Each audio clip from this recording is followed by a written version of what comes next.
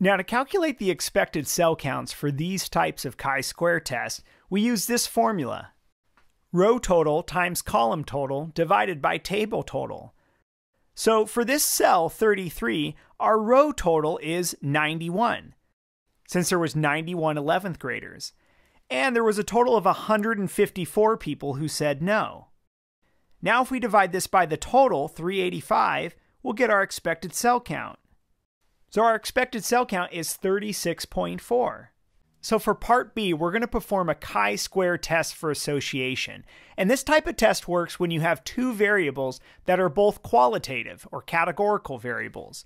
So grade is a categorical variable. We've got four different values it could be, and their response to this question is another categorical variable. They can either say yes or no. Let's use the four-step process. So for state, we said we wish to test the following hypotheses at the alpha equals 0.05 level. If you're not given a significance value, default to 0.05 for your alpha value. So our null hypothesis is there's no association between grade and whether or not a student feels cameras make the school safer. The alternative hypothesis is the more interesting one. It's there is an association between grade and whether or not a student feels video cameras make school safer. So in the state step, we have the hypotheses and our significance level, alpha. Before we move on to the plan step, let's talk a little bit about the null hypothesis. The null hypothesis is that there's no association between grade and how they responded. So we expect no patterns in here if the null hypothesis is true. Now, that doesn't mean we expect an equal number of yeses and nos for each grade. It just means we expect no predictability of knowing the student's response if you knew their grade. So the way the test works is it uses this sample data to determine how likely is it for us to observe data with this much predictability or patterns in it if the null hypothesis is true. That's what our p-value is going to tell us. But let's move on to the plan step. In the plan step, we need our inference method and to check conditions. So if conditions are met, we will use a chi-square test for association. That's our inference method. Now for the random condition, in the stem of the problem, they say this was a random sample. So that condition is met. For the independent condition, since we're sampling without replacement, we have to assume the school has at least 3,850 students, so the 10% condition is met. Now, that's a lot of students, but it does say it's a large school. So this condition is likely met, or it's very close to being met. The large sample size condition is the hardest to check. We need to make sure that all of our expected cell counts are at least 5.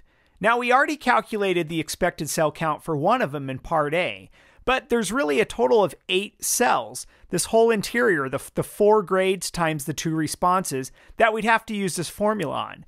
So I'm going to show you a trick to doing it on the calculator. If you press second and this x to the negative 1 power button, you'll get to the matrix menu. Now we want to go over to edit and we're going to press enter on matrix A. So we get to define the matrix. The interior of our table here, when we exclude the totals, is 4 rows times 2 columns. So we want a 4 by 2 matrix. Now we're just going to input the data. Now press second, quit. Now push the stat button and go over to test. We're going to scroll down to option C, which is chi-square test. Now it asks for what matrix is your observed data in, and matrix A is already there, so we're good. Now for expected, it's asking us what matrix would we like to store our expected cell counts in. So we'll just leave it as matrix B. Now I'm going to push calculate, and go ahead and ignore that for now. We're going to press second quit, and go back to our matrix menu. Now, notice in names, we now have a 4 by 2 next to matrix A and matrix B. That means there's data in both of those. So if I go over to edit and I scroll down to B, these are all of our expected cell counts. And a quick scan looks like they're all greater than 5. So we have a large enough sample. Now for the do step, we have to calculate our chi-square test statistic, which is the sum of all the observed minus expected squared divided by expected. Now we don't have to do this by hand. If we press second quit to get out of our matrices and go back to stat, and we're just going to run that chi-square test again. And I'm going to push draw this time. It's drawing the density curve for the chi-square distribution with 3 degrees freedom. Degrees freedom is number of rows minus 1 times number of columns minus 1. So in this case, 3 times 1. And at the bottom of the output there, we see our chi-square test statistic. It's about 9.8. And we also see a p-value of about 0.0203. I'm going to copy down the curve they drew. And what this is showing us is that if there really is no association between grade and the response to this question, the probability of us having a sample with this much association in it is very close to 2%. That's a low number. So it's unlikely we would have sample data with this much association if in fact there is no association. You can also press calculate instead of draw, and that will just give you your chi-square test statistic, your p-value, and degrees freedom. Now we're ready for our conclude step.